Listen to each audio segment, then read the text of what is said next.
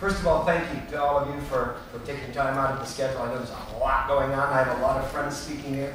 Um, and thank you to everyone at Difford's Guide and for the Athens Bar Show. I, this is my first time at the Bar Show in Athens. Congratulations. It's a hell of a show. Um, it's not my first time in Athens, though. For those of you who don't know, I've been coming here for a very long time. And what I mean by that is that I've been doing this for a long time.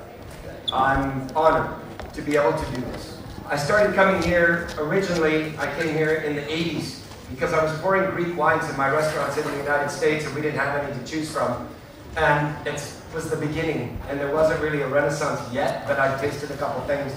And in the 90s, I tasted a couple more. In the late 90s, I started coming here regularly, and by the time 2001 rolled around, I saw that there was this huge renaissance happening that the world didn't know about. So by 2003, I had become a fanatic of Greek wine and spirits and was teaching about them and sharing them all over the world. And as a result, I basically was making an excuse to come to Greece as often as possible, not only because I love the food and I love your culture and I love the place, but most importantly, um, I think your, your greatest national asset is you, the people. And I come here for that. Um, and I am here today for that very reason.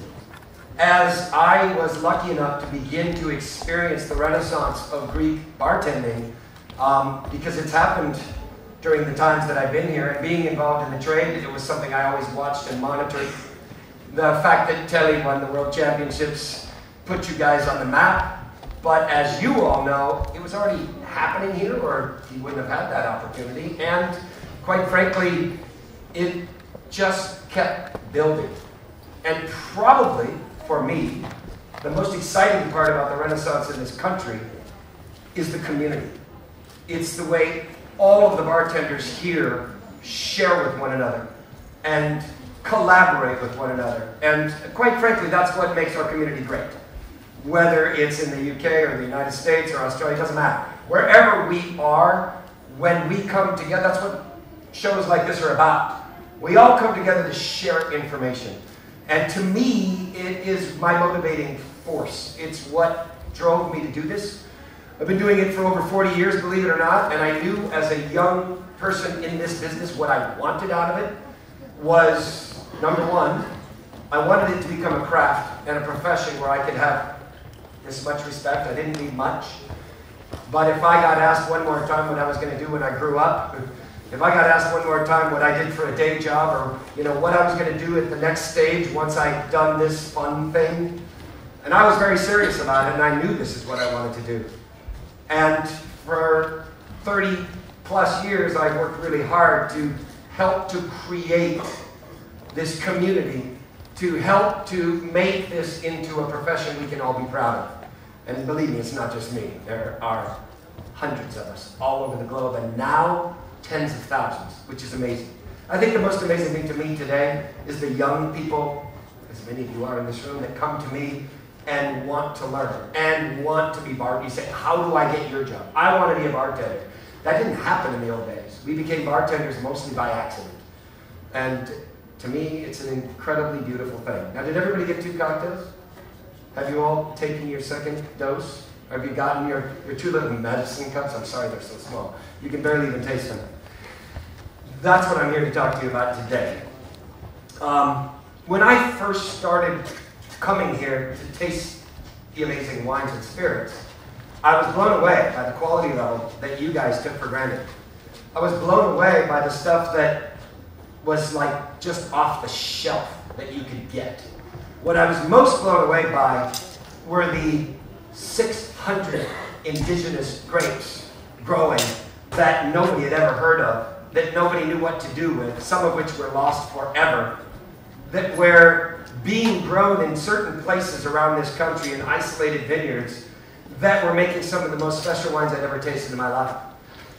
And in the late 90s and early 2000 area, that time period, winemakers were ripping this stuff out and planting Chardonnay and Merlot and Cabernet, Sauvignon Blanc in particular around here, because they believed that that was the future. And they thought the only way to get their foot in the door of the American public was to make Chardonnay and Merlot. And I said, oh no, please, please, stop, stop, stop.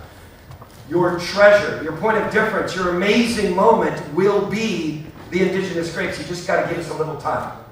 Give us time to teach people about these grapes. Give us time to teach people how to pronounce them. For me, the hardest part, I mean, now I can say Xinomavro, and I can say Agiorgitiko because I practiced for years. But I said to them, You're worried about us pronouncing your grapes. We taught an entire nation to pronounce Grüner Veltliner, and if we can do that, we can certainly learn how to say Moscow It's easy and it's sexy. So, what if you just stick with what you're doing and let us help you bring it to the world? Don't change a thing. Make your indigenous grapes. Have them grow in those ancient soils, in those sometimes never seen phylloxeras, in the most remote vineyard sites, up in the mountains where nobody could imagine that you could grow grapes. Because what you have is magic. And in my time working with these people, I experienced their wines, I experienced their culture. I experienced their food. And I experienced spirits along the way that kind of blew my mind because it was something they considered just part of the meal, something they considered just part of what they do, something that was so obvious and natural to them, but of course you'd never drink it in a bar. You never pour it anywhere except at the end of a dinner, or maybe with some missing, you know, maybe in a bar. But but only for appetizers, never for anything serious. And I said, you know, you've got a treasure over here. You've got something really, really special. So, let me tell you what is going on in those drinks. I know this big mystery here. Can I tell them now? Is it time to start talking about the mystery? All right. The first drink that you have is a drink called Grape Crush.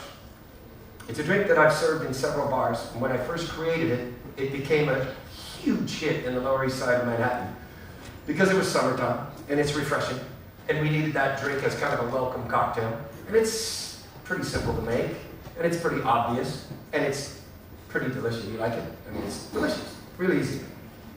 And it is, of course, grapes, obviously.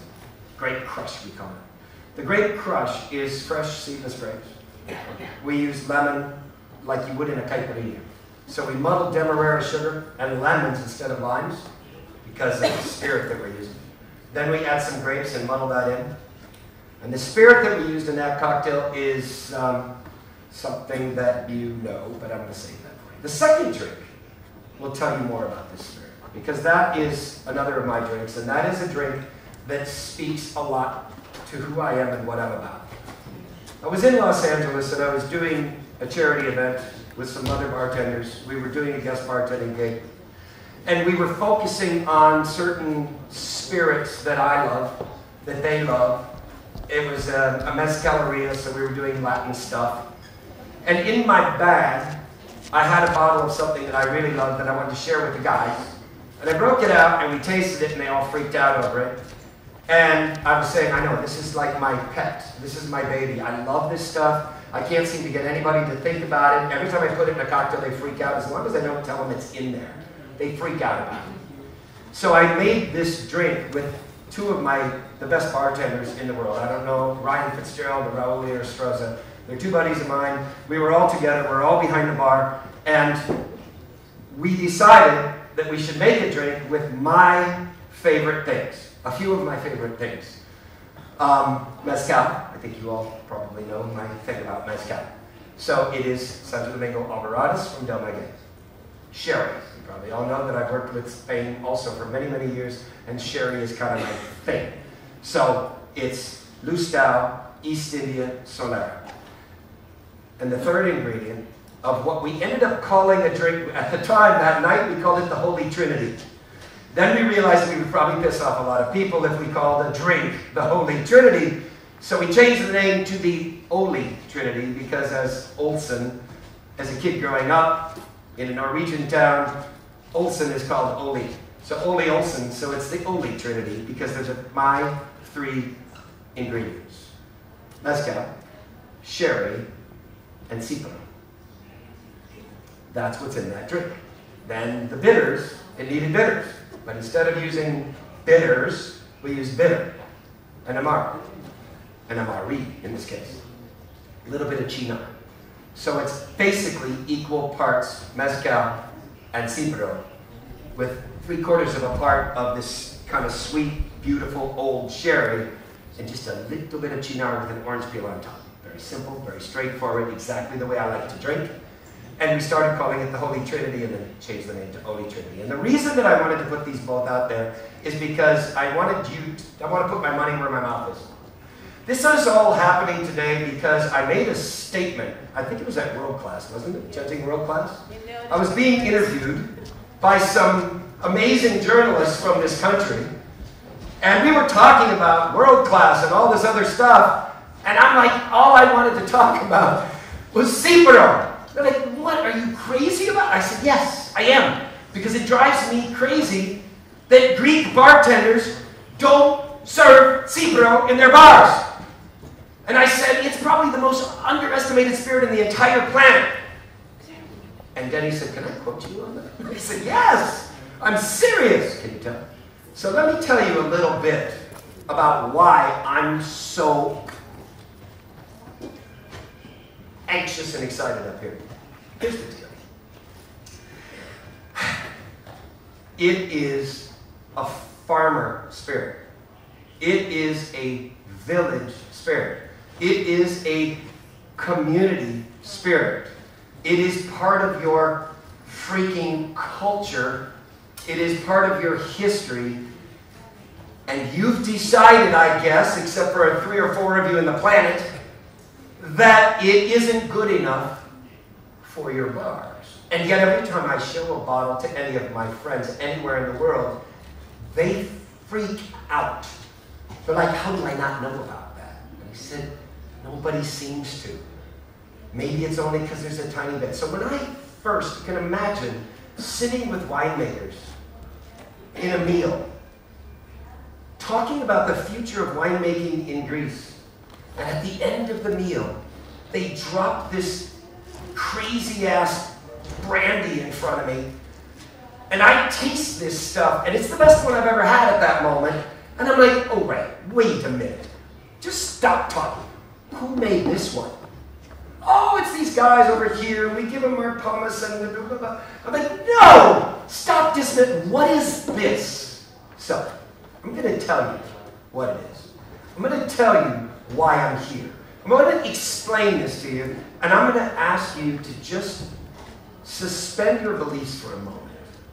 I'm going to ask you to just, all the things you've been taught culturally, all the things you've been taught in bartending, all the things you've been taught by your friends and your peers and growing up and whatever, just take it with a global viewpoint because, see, it drives me crazy that when I come here and I want to drink a tsipouro in a great cocktail bar, you want to show me all the shit that I see everywhere else. You want to show me how global you've become by showing me the world's global spirits, and I think that's awesome. You want to show me the techniques you picked up in bars and in conferences around the world, and I think that's amazing. But the thing is, why wouldn't you bring that back to your own indigenous juice? To me, there's an opportunity here, and I think we're just missing out on some of the historical aspect that maybe we should take into consideration. So, bear with me a second. When I first started working in Mezcal, the first producers that we started working with, one of them, the family had a still. The very first producer we ever worked with was using a community still. There was one still in the village. And in between farming and subsistence lifestyle and everything else they did, the farmers would go out and harvest agaves in the wild. They'd bring the agaves down and they would roast them. Then they'd go and use the community still to make a batch of mezcal. And they would trade mezcal or money. This is Oaxaca, so maybe a goat or a chicken. And they would get their mezcal that they used from the community still because nobody could afford it. First time I tasted tsipouro in this country, I tasted tsipouro that was made by a guy in the neighboring village because he had the still. And the winemaker that I was with gave him wine and all of his pomace so that he could make tsipouro for himself and give him his year's supply to drink with his friends and at dinner. What is the difference? It's a community. It's a farmer-made spirit. It's indigenous to your country. So, when I first started working in Mezcal, I know you think Mezcal is the hottest thing right now. It's the fastest growing spirit. It's awesome. We started 21 years ago preaching the gospel of Mezcal. For 17 of those years, nobody drank Mezcal except for seven of my friends who are all in this room right now. It was just us. A few bartenders, a few sommeliers, and a few chefs. But slowly but surely, champions of the product we took it to the world. In Mexico, there's a tradition. Mezcal is that moonshine. It's that nasty stuff. It's white lightning. You don't drink mezcal because you'll go blind. Now, you all think it's really cool because you've met Mexican bartenders lately, or you've been to DF lately Mexico City, and they're drinking mezcal now. Five years ago, you couldn't drink mezcal in Mexico City. And the young people in Mexico would tell you, it's terrible. We don't drink that shit. We only drink tequila. Five years ago. Eight years ago. There was not one mezcaleria in the country of Mexico. Not in Oaxaca, not in Puebla, not in Michoacan, and certainly not in Mexico City. You couldn't drink pulque unless you went to a farm and found it. I went in search of pulque and spent two weeks finding pulque 20 years ago. Today, there are pulquerias and mezcalerias, 36 of them in Mexico City. The first one opened six years ago. Now, how much of a change in attitude is that? They wouldn't touch the stuff because the thought process, the way they were raised, is it was bad. Now, granted, there is bad mezcal. And there's probably bad spirit here too. I'm not talking about that stuff. I'm talking about supporting farmers. I'm talking about embracing artisanal, crafted spirits. Those were two different tsipouros in those drinks. Did everybody get another cup right now? Guess what we're going to do now? Taste some straight tsipouro. Single varietal, handmade, artisanal tsipouro.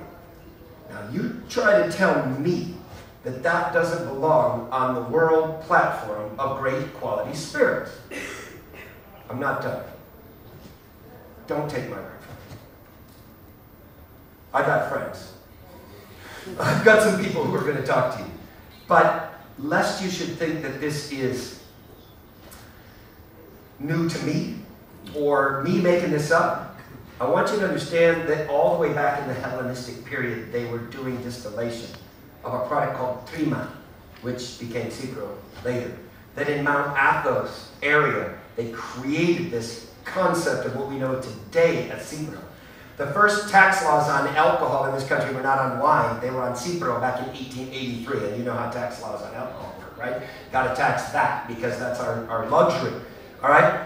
In 1886, there were laws that were passed that changed the way we think about it. But in 1989, they created this thing of official distillers which began to change this little local community thing that I'm preaching and, and teaching. But it also took some of those guys and made them the official distiller for their area, which made it beautiful and changed the way we think about it. But if you don't believe me, is this not enough? In 2006, the EU gave tsipouro, tsikoudia, and ouzo a PDO. Do you know what that means to the rest of the world? These are Greek spirits made with Greek grapes by Greek producers in Greek, on Greek land in Greece. For God's sakes.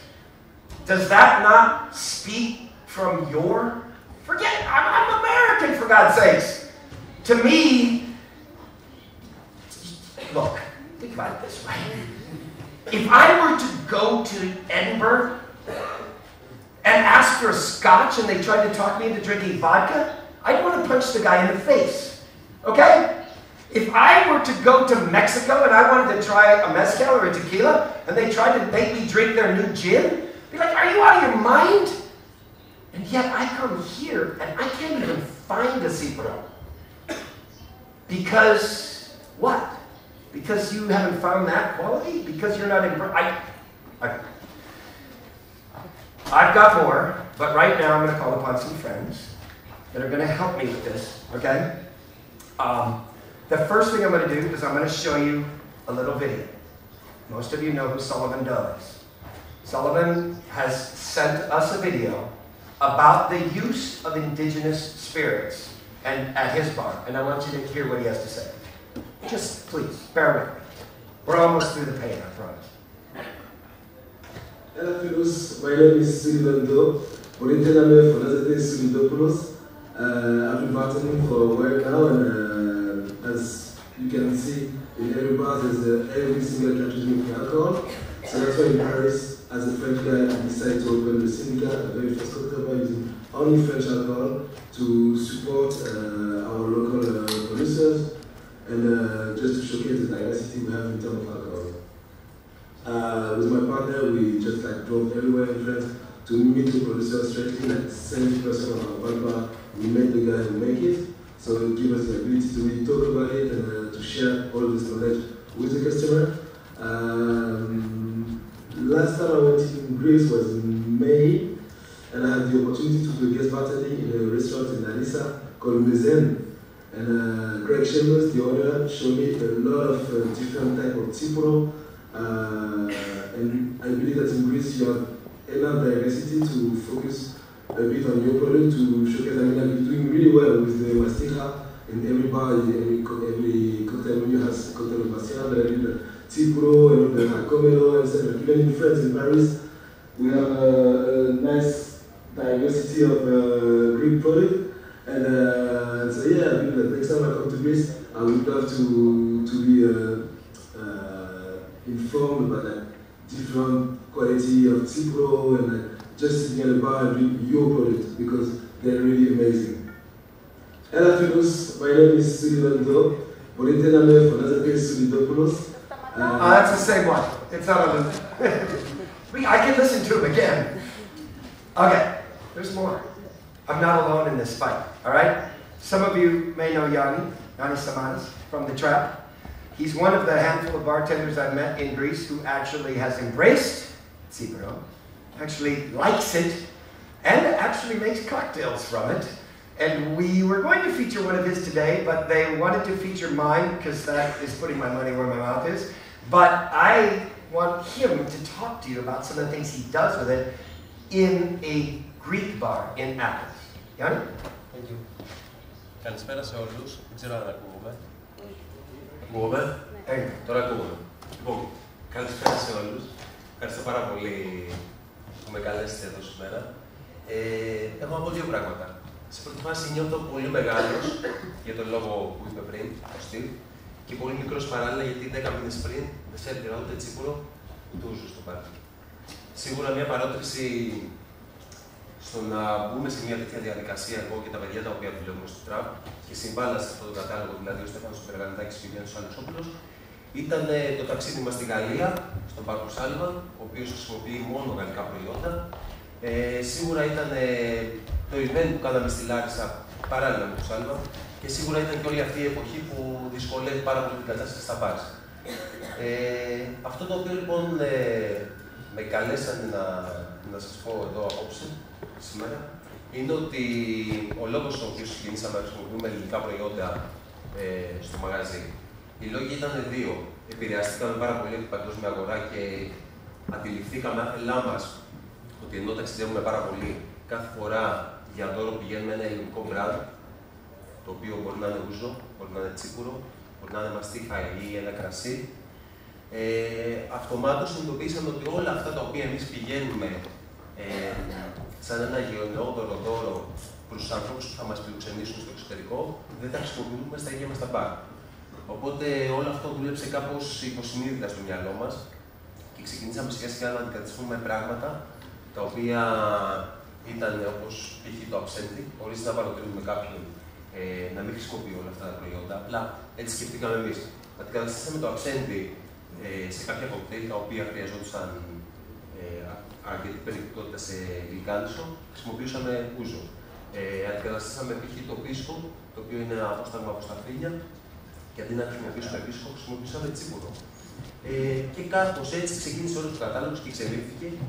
Και αν έρθετε στο μαγαζί, θα συνειδητοποιήσετε ότι πάρα πολλά ε, προϊόντα μέσα στο κατάλογο, αν το δείτε λίγο αναλυτικά ίσως, γιατί δυστυχώς η προκατάληψη η οποία έχουμε για τα ελληνικά προϊόντα δεν μας επιτρέπει να γράφουμε ούζο ή τσίπουρο, αλλά να αναφέρουμε π.χ. απόσταγμα από σταφύλια, γιατί ακόμα και οι πελάτες ρωτάνε, δυστυχώς και δεν το γνωρίζουμε τον λόγο. Ε, και σιγά σιγά όλο αυτό έχει αρχίσει και δουλεύει. Ε, σίγουρα είναι τιμή μου που βρίσκομαι, βρίσκομαι εδώ ε, και με έχει καλέσει ο Στίβ να μιλήσω για αυτό το κομμάτι των ελληνικών προϊόντων. Σίγουρα είναι τιμή μας που σαν χώρα έχουμε διοργανώσει κάτι τόσο μεγάλο. Τόσοι άνθρωποι από το εξωτερικό έρχονται και μας βλέπουν και μας, ε, μας συμβουλεύονται κάποια, κατά κάποιο τρόπο, αλλά σίγουρα δεν είναι τιμή μας αυτό το οποίο κάνουμε τόσα χρόνια και παραδέχομαι ότι έκανα και εγώ πριν 10 μήνες στον πάρκο, δεν σε ούτε τσίπουρο ούτε ε, Ελπίζω όλη αυτή η παρότριση μαζί με τον τύπο και το Στυλ να μας οδηγήσει σε ένα άλλο κομμάτι, όπως εξελίχθηκαν και άλλα προϊόντα παγκοσμίως. Πιστεύω. Ε, αυτά είχα να πω. Ευχαριστώ πάρα πολύ και πάλι. Um, we have one more video that I want to show from somebody that I think you know, a man that I have been honored to get to know over many, many years and become. I'm honored that he considers me his friend because to me he's one of the greatest people I've ever met in my life. Um, and he taught me a lot. And it was actually with him that I was having dinner that I, it wasn't my first secret.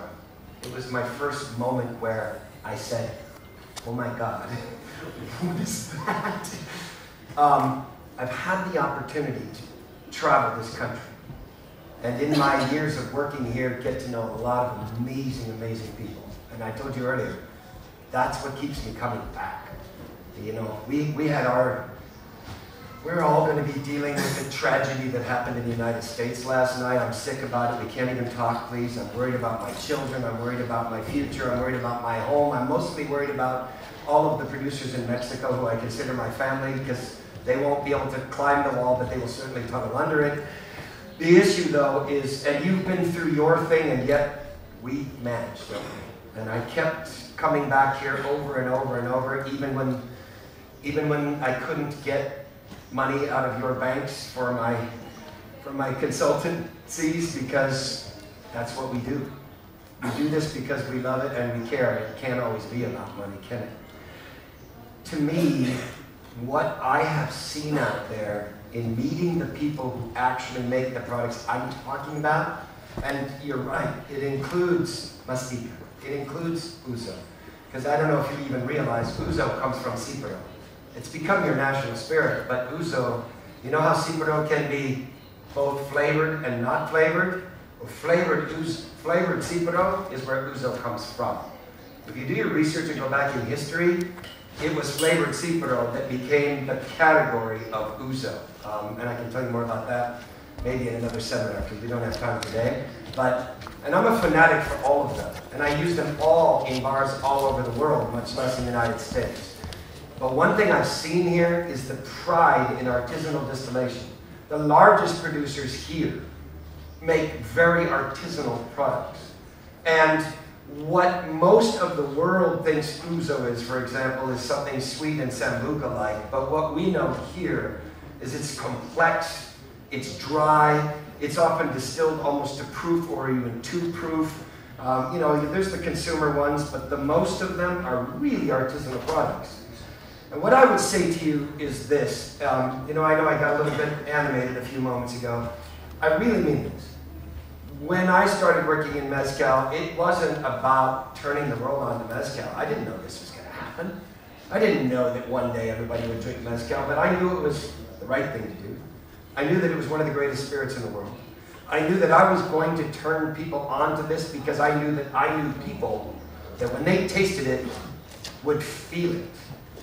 They would taste it and freak out, but they would also feel it. And that's what that spirit is about. When I taste tsipouro, I feel it. It's different than factory made stuff. And what I say to you is, you have an opportunity right now to embrace this You have an opportunity right now to take this spirit and make it your own. Like you said, why is this? I love Pisco too. Can you imagine? I work with a Pisco. I've helped design Pisco. I go to Chile and Peru. I love them. But can you imagine if I went to Peru and ordered a Pisco Sour and they told me, oh, let me pour you a Cipro drink? But you do that here with their drink. I don't get it. They're, they're similar. They're both made from similar grapes. And yet you're selling theirs. You think they're selling yours? Don't think so. You want to help your own economy? You want to build your own nation? You want to have pride in who you are and what you do? This to me is an absolute no brainer. I keep getting these questions. How do I not know about this? How are Greek bartenders not embracing this? And like I said before, I know you want to embrace the whole global thing, but you already have. It's beautiful. The whole world, if look, anybody who doesn't recognize the renaissance that's going on in Greece right now in bartending hasn't been here or they're just clueless. All right? You come here and you feel it. Look, this this event, this room, the passion is insane. Now is your chance to say, okay, we showed you what we do. Now let's show you who we are. Now let's show you what we've got. Let's bring back to the world something that is ours. I could go on forever, but I have a friend who wants to speak to you, and I'm going to bring him. He's going to speak in Greek. I've had it translated for me. I started to cry, so I'm not going to say a word. I'm just going to let him talk. And I'm going to say, thank you for listening to me preach. I'm sorry if I got a little too animated for you. No, I'm not sorry at all. The hell with that. I am excited about what you have here. I'm excited about your single most important national product, which is you, the people. Take what is yours and show it to the rest of the world. I can't even begin to tell you what that's going to do. If I could tell you the social reform and change and development that has happened in Oaxaca as a result of them finally being able to show their artwork to the world. Children are going to school and eating and having clothes and clean water. Now, I know that there isn't that kind of poverty here, but I also know you're going through some serious issues. What could you do by supporting your own products? I'm just saying. Please listen to a friend of mine, and thank you very much for your time.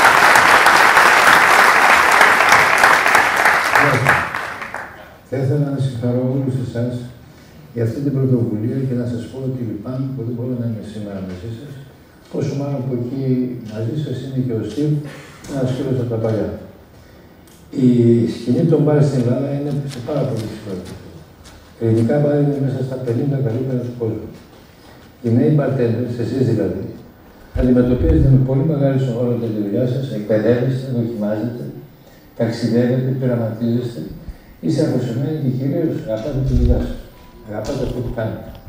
Ταυτόχρονα, οι περισσότεροι από εσάς, αν όχι όλοι, είστε απόλυτα ενήμεροι και προσπαθείτε να περάσετε και στο κοινό σας την αντίληψη της υπεύθυνης κατανάλωσης. Ένα πάρα πολύ σημαντικό πράγμα για τη σημερινή κοινωνία. Αν και είμαι ενωπιό, θα ήθελα να σας πω δύο λόγια για τα ελληνικά αποστάγματα που αν μη τι άλλο ήταν γνωστά και στο εξωτερικό πολύ πριν γίνουν γνωστά τα ελληνικά κρασιά. Μπορώ να σας πω με βεβαιότητα ότι πάρα πολλοί Έλληνες παραγωγοί και κρασιών και αποσταγμάτων φτιάχνουν πια και παράγουν πολύ υψηλό επίπεδο προϊόντων. Αλλά για πολλούς από εμάς και από εσά είναι ακόμα συνδεμένα μόνο με μεζέλε και καφενεία των παππούδων. Εμείς έπρεπε να φωνάξουμε τον Steve Olson από την Αμερική για να μας μιλήσει και να επιβεβαιώσει την αξία τους. Τα αποστάγματα ποτέ δεν θα μπορέσουν να περάσουν στη νέα εποχή και να αποκτήσουν την αξία που τους αναλογεί, αν δεν τους δώσει τη σημασία. Αν δεν βάλετε στην άκρη τις προκαταλήψεις και ενημερωθείτε για την παραγωγή τους ή δεν τα βάλετε στι γευτικέ δοκιμές δίπλα-δίπλα με άλλα αποστάγματα ή spirits. Αν δηλαδή δεν τους δώσετε μια ευκαιρία να πειραματιστείτε μαζί τους για να αποδεχτείτε ή να τα απορρίψετε στο τέλος, αλλά χωρίς προκαταλήψεις.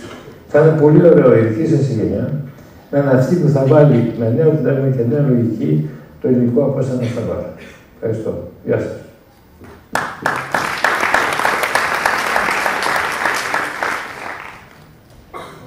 i would like to thank very much, Steve. I'm ashamed that you're so passionate that some, for something that uh, we were not. Uh, it, it, was in a trip in. Uh, it was in Orient Express wagon, some like three four years ago, that he made me start thinking about Greek spirits that I didn't even think about. And it was seven months ago that um, I was tasting the tsipouro that you tasted now, and. Um, and I said it's such a pity that people in Greece will not Ne- we will never um, taste this thing without. Can I speak in Greek? Yeah. I'm very emotional. I know what you're going to say. Speak in Greek. It's easier. Ότι κανένας από εμάς δεν θα το δοκίμαζε χωρίς προκατάληψη και να πει ότι αυτό θα μπορούσε να είναι ένα new western gin, ένα φανταστικό ποτό. Και βάλαμε με την Ελένη να στείλουμε το μυαλό μας με ποιο τρόπο θα, θα μπορούσαμε αυτό το πράγμα να το δοκιμάσουμε όλοι χωρίς προκατάληψη.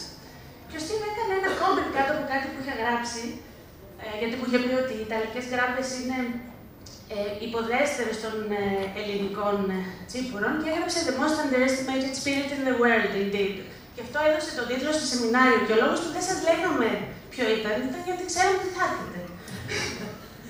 ε, εμείς σαν Default Guide νιώσαμε την ευθύνη ε, εκπροσωπώντας ένα παγκόσμιο site στην Ελλάδα, το μεγαλύτερο σε κοκτέιλ παγκοσμίως, να αυτά τα, τα ελληνικά spirits να τα βοηθήσουμε να μπουν πίσω από το πάρ.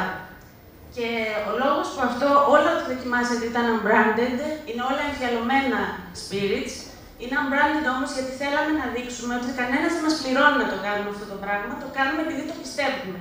Και είναι κάτι που θα υποστηρίξουμε όλα τα επόμενα χρόνια.